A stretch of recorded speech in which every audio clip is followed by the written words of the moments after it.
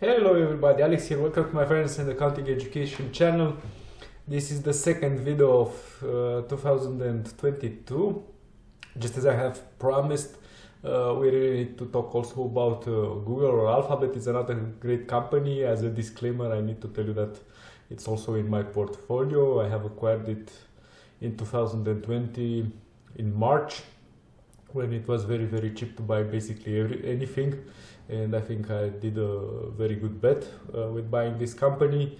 And not only that it's a very large company hence stable mature already mature and uh, as quite a safe investment from my point of view as safe as the stocks can be. But it also delivers outstanding uh, results. Uh, I said in the previous video when we have uh, analyzed my, my 2021 portfolio and the performance of my portfolio um, that uh, it was also the top company in my portfolio. It seems to have been the top company as, as uh, market capitalization growth uh, also in the United States and probably in the entire world. And um, today we are going to basically see two articles from CNBC, one which is a general one about the, the tech stocks, and of course it's also tackling Alphabet or Google. Uh, then a very nice one about Google itself because CNBC named it the company of the year. And in the end, we are going to take a look at the results of the quarter three 2021, which they presented already in October. So they are not that new, but we have nothing newer than that um, I wanted to do it, let's say, like uh, first, and I promised to do it for the next company. Probably we will do it for uh, Apple. Uh, just opening the investors page and taking a first look, so to see my reactions exactly and how I'm trying to understand the the results because usually when I present the results of a company I'm just doing some research before I'm building a PowerPoint presentation. I'm selecting what kind of information I want to, to present or I find relevant for you as well. Uh, and uh, probably it would be very nice to see my first reaction when I open the results and how I'm trying to understand the business and what I already know about the business, and what I don't know, what are the blind spots and so on and so forth. Uh, so, but unfortunately for today, for um, and I, I already took a peek at the uh, Alphabet results, at Google results, so it would be let's say the second pick, so the first pick, and I cannot deliver on on that promise promise today. But for the next large company, large tech company, which I intend to analyze, which will be uh, Apple, I will try to do this, basically not looking at their results, the latest results that we can find for the investors, uh, not looking before I just start my video and you can see the, the first reaction that I have.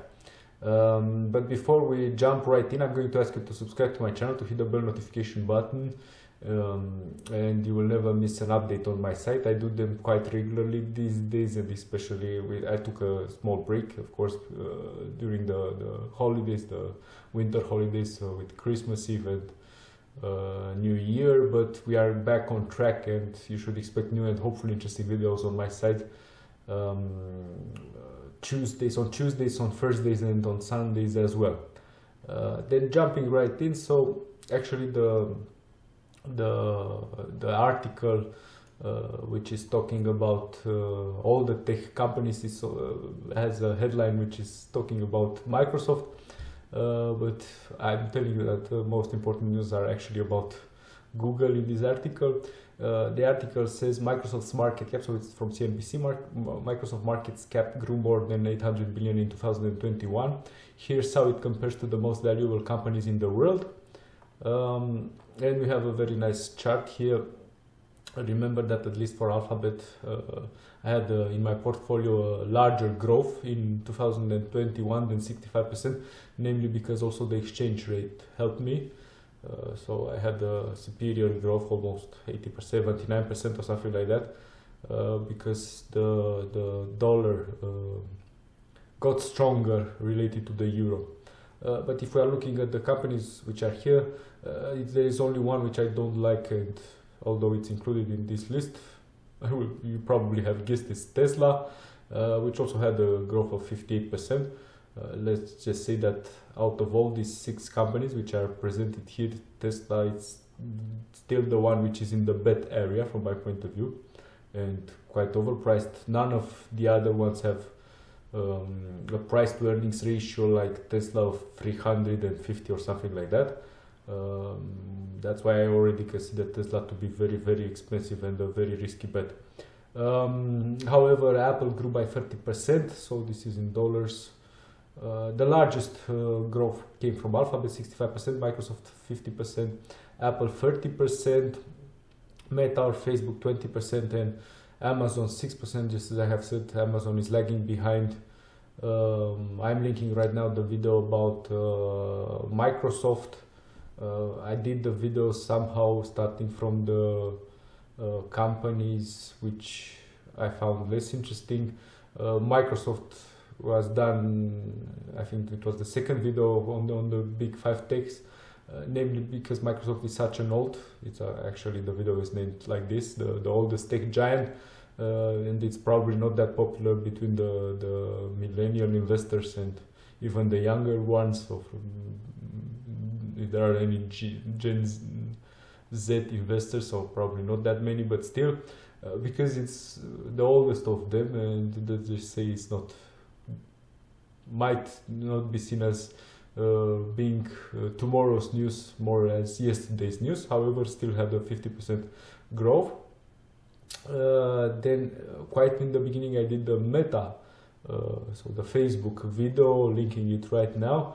Uh, it was prompted by this scandal, by this whistleblower uh, uh, this lady that worked for them for, for two years and uh, she came in front of the press and Congress even and Security Exchange Commission and somehow tried to to deliver this speech that she knows very well the company although it said only two years she worked there only two years and uh, trying to say that uh, Mark Zuckerberg should give up on running the company and that she wants to cure the company and things like this. But somehow, I think that uh, the story has gone by. Uh, I was telling in that video that Meta actually has a problem with uh, attracting new customers or younger customers, which are going more in the direction. Of course, Instagram helped a lot uh, and kept the, the, the network alive, but the customers are going, so the young ones are going uh, towards TikTok right now, and uh, that's potentially an existential threat for Meta in many many years from now on. Uh, current time, they are doing a lot of money from publicity, so I don't see any, let's say, short-term problem from Meta. Um, and then we did uh, of course the amazon uh, video. I'm linking it right now in which i was saying that they are lagging behind. Uh, we will see the differences between the amazon and um, alphabet from from cloud point of view. They are very interesting. Uh, let's just say that um, amazon microsoft and alphabet are also players in in the cloud uh, um, business in this uh, information storage or, or uh, yeah uh, over the internet and the differences between them are quite interesting. Um, but going directly to our point of interest, Alphabet plus 65%, so the, the, the, the, as you have already seen, the largest growth um,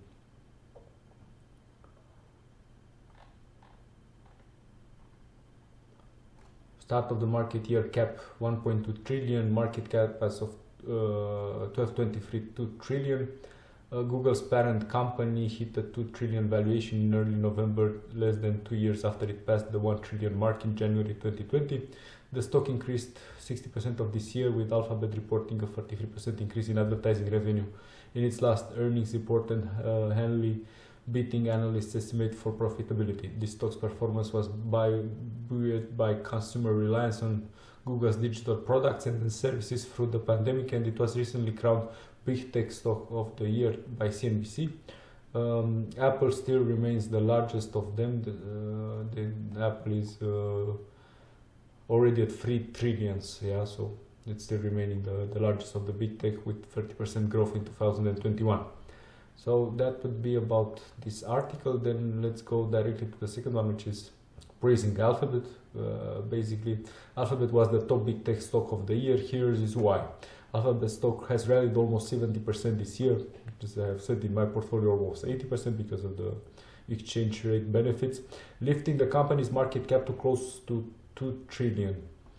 Uh, it's by far the best performance among any of the big tech stocks, and it, uh, and this this largest annual uh, gain for and it's the largest annual gain for Alphabet since 2009. Consumers have uh, relied on Google's digital products and services through the COVID-19 pandemic. By the way, we are using the, the YouTube platform belongs to Google, so just as a side note. Alphabet is on the verge of wrapping up its best year from an investment perspective since 2009 and has proven to be by far the top perf performing big tech stock of 2021. As of Thursday's close at uh, $2,938.33, Alphabet stock is up 68% this year uh, mind the price of one share, which if you don't find the means of investing in fractional shares, so buying just part of shares, that might be a preventing uh, small investors because it's quite expensive, almost three thousand dollars for one share. So you'd have to invest at least three thousand dollars to to get one share of, of, of uh, Alphabet or of Google. With just five trading days left in 2021, it's virtually impossible for any of its biggest peers to catch up. I think it's from December 27, the, the article, so it's not from December 31. As of Thursday, uh, we said Microsoft is the closest, up 51%, so it was the, the second performer from growth point of view. Apple has gained 33, followed by Facebook, now Meta 23, and Amazon at 5%. You can even throw in Tesla, I would prefer to throw it away, which has climbed 51% for the year. The Nasdaq 100, a basket of the largest non-financial companies in the Nasdaq, is right in the middle, up 27%. Remember, we beat any possible index from the United States with our United States shares. we uh, I have beaten them in, in 2021. Alphabet, which gets the vast exchange rate effect included or excluded.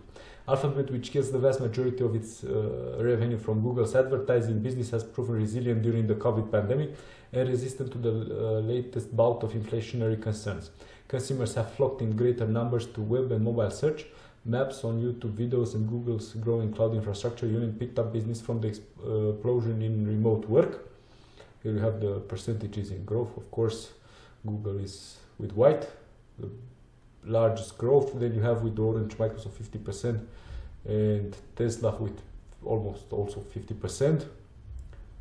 Uh, not very justified by Tesla, but I think I've spoken already too much about Tesla.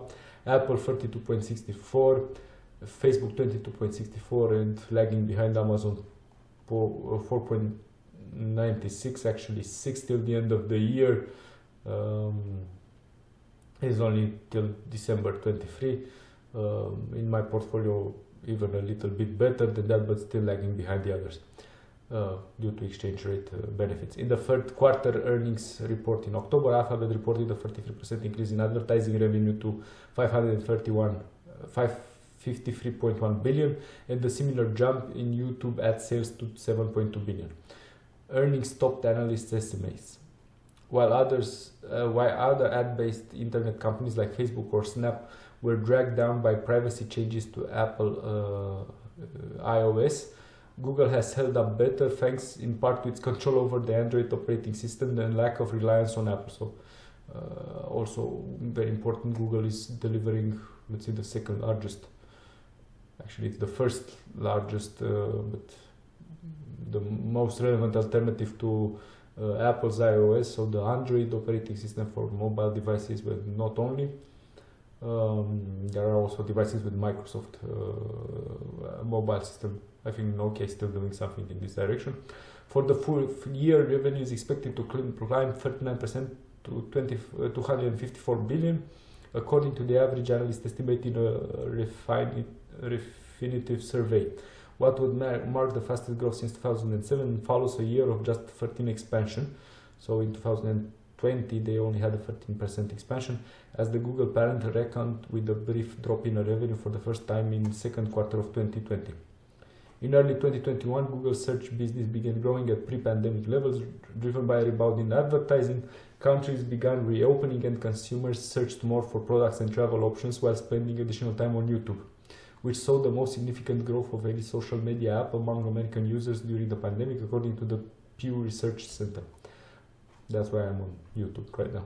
Alphabet's recovery from the second uh, quarter, second quarter of 2020 COVID-19 induced advertising slump has been remarkable, wrote analysts from Argus in a late October report. The firm has a buy rating and wrote, we need continued momentum in the coming quarters as e-commerce and digital advertising have burgeoned with economic recovery. The last time Google delivered better returns for Wall Street was 12 years ago when the stock more than doubled for the year. Google was a much smaller company then and its market cap didn't hit 1 trillion until January 2020. Less than two years after uh, reaching that milestone, Alphabet added nearly another trillion dollars, peaking just shy of 2 trillion in mid-November. Its market cap sits at 1.95 trillion as of last week's close. It is not just about advertising revenue in Google's cloud division, climbed 45% to 4.99 billion in the third quarter, while operating loss narrowed to 644 million from 1.21 billion, and we will see a very interesting difference when we talk about the results compared with, with Amazon. Google Cloud Platform trails Amazon Web Services and Microsoft Azure in the cloud infrastructure market, but it's benefiting from an emerging multi-cloud trend as big businesses spread their workloads rather than relying on a single vendor. Uh, so the the consumers seem to opt for using more than one platform because otherwise uh, Amazon Web Services and Microsoft Azure will be the, the, the, the leaders and Google wouldn't get any or not that much business in the in the cloud uh, area. Alphabet also saw big returns from its investments RJV and Capital G. Portfolio companies including UiPath, the latest video about UiPath, linked right now. Duolingo, Freshworks, and Toast went public this year. Alphabet recorded investment gains of 188 million in the third quarter, up uh, from 26 million a quarter earlier. Looking to 2022, analysts' predictions are more muted, and Alphabet may need to find new growth drivers to continue its outperformance. Revenue growth is expected to slow to 17%, about where it was in 2009 before the pandemic, of course. Meanwhile, investors are still waiting for some progress out of Alphabet's other bets. Its self-driving car company Waymo continues to lose a ton of money, uh, though it made uh, strides in new cities during 2021. Alphabet continues to consolidate other projects and haven't been able to break out, announcing most recently that it's uh, folding Sidewalk Labs, its smart city efforts into Google.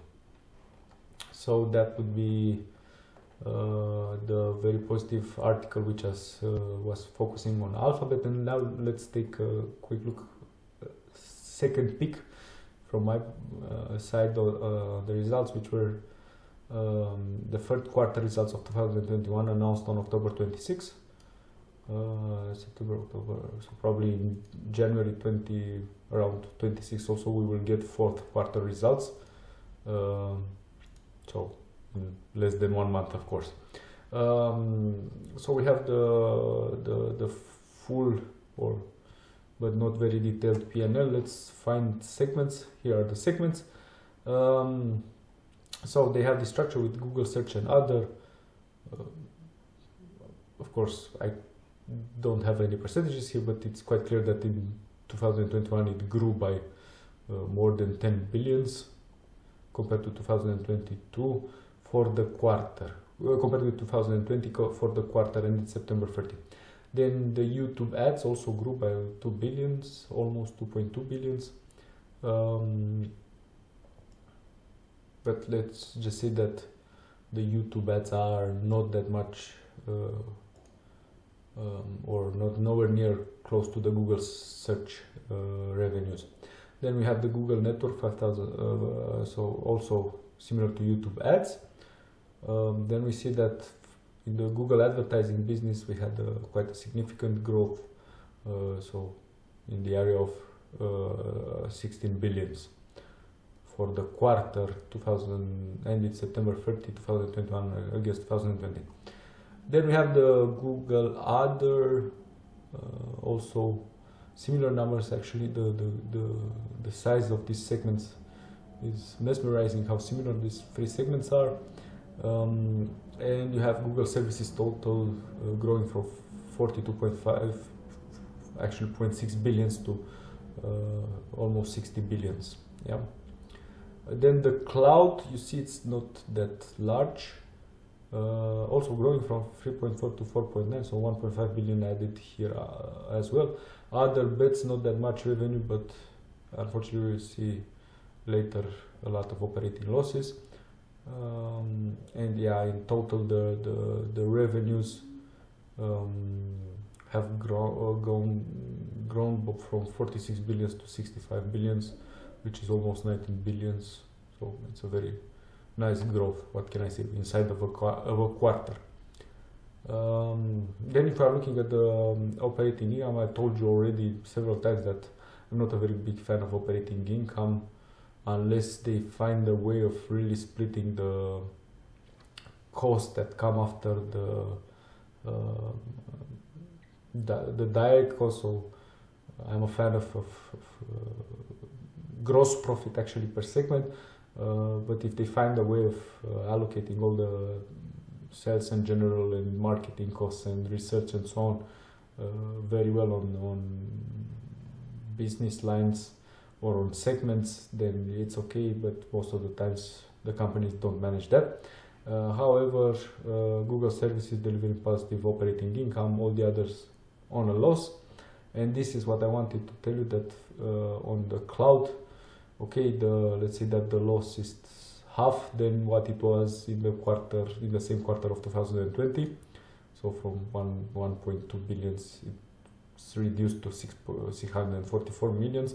What's interesting in, in comparison with Amazon is that Amazon uh, is doing uh, negative or let's say almost no uh, so an operating loss or almost no gain on its core business which is the online commerce yeah let's say. And it's doing basically the, pro, the entire profit of uh, Amazon is coming from uh, Amazon Web Services and you can see that uh, the Google, Google cloud is exactly the other in the opposite direction and it's bringing a loss to the company. That's what i wanted to tell you. Then we have the summarized p&l the financial highlights. So the revenues increasing in revenues year over year 14% in 2020 41% in 2021 um, operating income of course it came with an increase due to revenues but also the margin is increasing from 24% to 32% which is very good. That means that they are doing business more business in the profitable segments of the of the of the company. Um, other income expenses. And then net income you see from 11 billions uh, to almost 19 billion so 8 more billions it's almost 8 extra billions is quite a significant growth. In this case, it's not doubling, but in the area of 70% increase, it's uh, quite significant. Diluted earnings per share 16.30 to 27.99. So very good uh, financial results. Uh, let's just look at the other two uh, financial statements. So we have the balance sheets. I don't know why is it with plural is the balance sheet. Um, not that much interesting or relevant. Uh, they also have a lot of marketable securities. We have seen that by, at Microsoft and also at Amazon.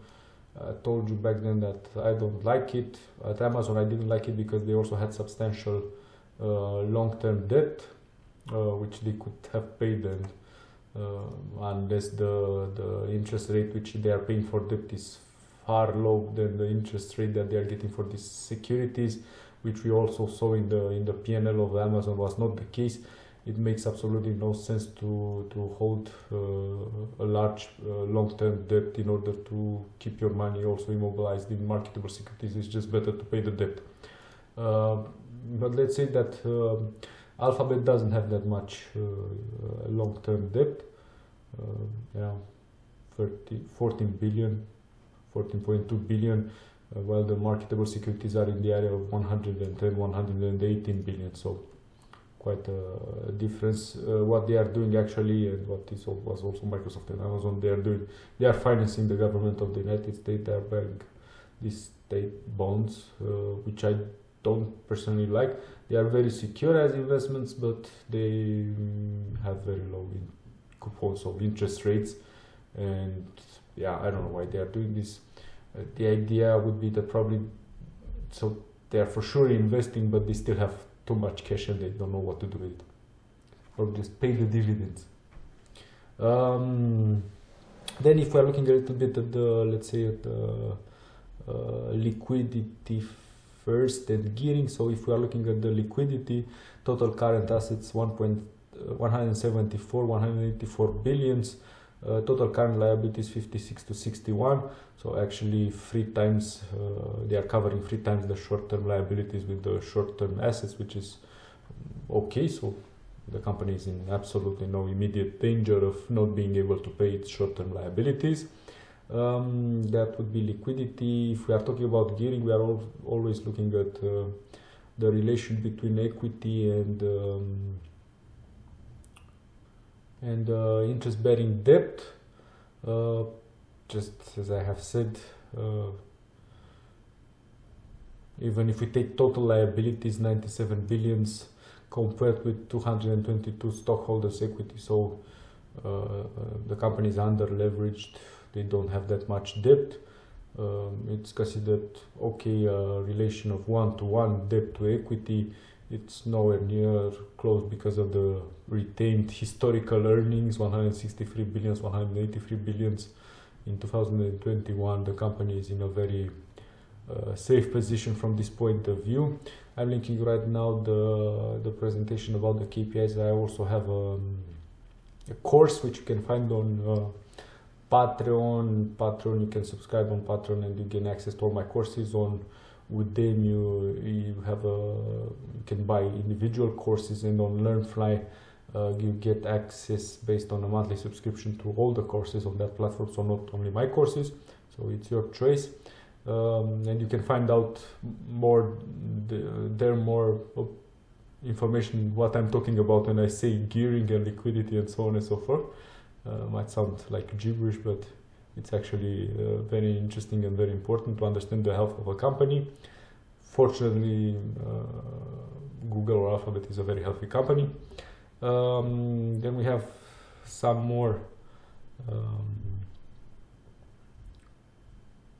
details or another structure of the of the PNL. Um, what I wanted to see is that if there are some uh, financial so uh, financial costs if we can get if we can uh, get to see if, so this is the cash flow we will also talk about the cash flow.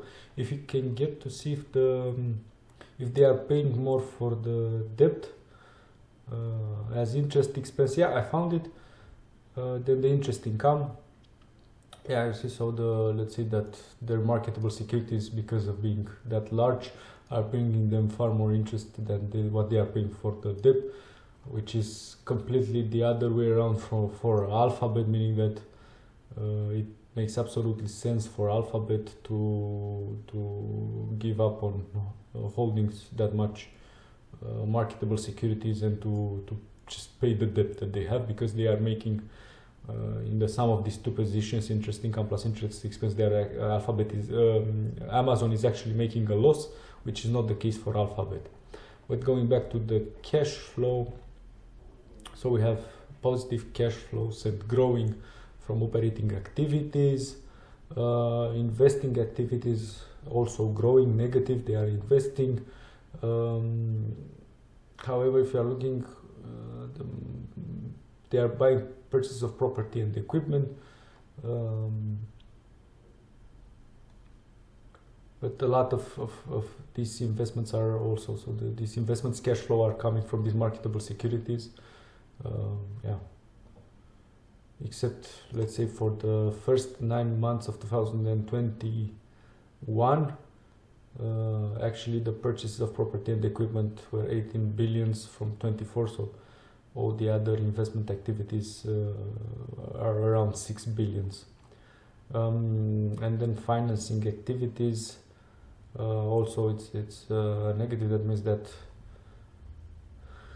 they are doing common capital stock repurchases which seems to be what's helping actually they so they are doing stock purchases they have retained earnings they have cash uh, in the balance sheet which only makes sense that they help uh, the investors by doing these share repurchases so that the value of the company increases so that the price of the shares are uh, the prices of the shares are growing and this is one way to help um, I intend to do a video in the next period about uh, repurchases and explain what the companies can do with the retained earnings. The companies that have profits, they can pay dividends directly to the uh, shareholders, which is delivering immediate wealth to the shareholders. They can invest in the business, uh, but this takes time. So expanding, developing new products, and so on and so forth.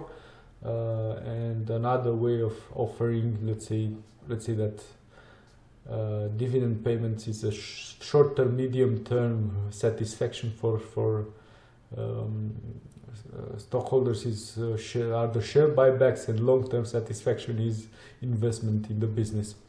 Um, also, repayments of debt are significant here. Uh, 15 billions uh, yeah so actually a net of around 1 billion and net payment related to stock-based award activities 7 billions um, yeah and if we are looking at the at the cash position so uh, at the beginning of the period and at the end of the period uh, it's clear that uh, there is a positive uh, net uh, cash increase except actually for the first nine months we have a drop in the cash position of 2.7 billions uh, which means that although they generated a lot of cash from operating activities, the investments and the financing activities uh, got cash out of the company of 2.7 billions, but and which means that from 26 billions at the beginning of the year, so at 1st of January 2021, they are now at 23 billions. At the end of the third quarter in September, but they are still okay. So it's it's not like I'm quite sure it was intended and it's not signaling anything. Yeah, so you see from 26 billions to 23 billion, so it's absolutely no problem because, for example, the marketable securities grew from with 8 billions. Yeah. Uh, so these would be the financials. Uh, these reconciliations between GAAP and non-GAAP are always giving me headaches but whatever. So and here at the end we have again the segment somehow again presented. I don't know why they, they uh, come back up with them. Just as i have said operating income positive only on services uh, cloud Other Bets uh, and you see there are some costs which they couldn't allocate so on the segments they could allocate only a part of the cost, some other are separately. Um, that would be it about uh, um, Google for today or Alphabet. I hope you enjoyed the video. If you enjoyed it, just hit the like button. Comment if you have something to add about this great company eh, or share it with somebody that might be interested about uh, Google as a consumer, as an investor. It doesn't really matter. Um, and but most importantly, do not forget to subscribe to my channel and to hit to, to, to push the bell button which will mean that you'll get updates regularly and you will never miss an, a video from from me. Um, also below this video we have links. You can um, create an eToro account and trade there without commission or fee which is always a saving no matter how often you are trading whether you are a day trader which is doing a lot of transactions or you are just investing maybe several times per year. uh, not paying a commission or fee is always a saving, which is always good. Um, also below this video we have uh, an Amazon wish list ha hardware and software items which can help me improve the quality of my videos, uh, making it also beneficial for you because you'll get better videos on my side. However, supporting me through this Amazon wish list is from financial point of view the most inconvenient for you. The easiest way to support me remains subscribing to my channel, hitting the bell uh, notification button, and of course continuing to watch my videos which I hope they are very interesting and uh, full of uh, valuable information for you. Once again, my name is Alex Petrescu. This is my finance and accounting education channel here on YouTube, and I look forward to presenting to you uh, the next time. Goodbye.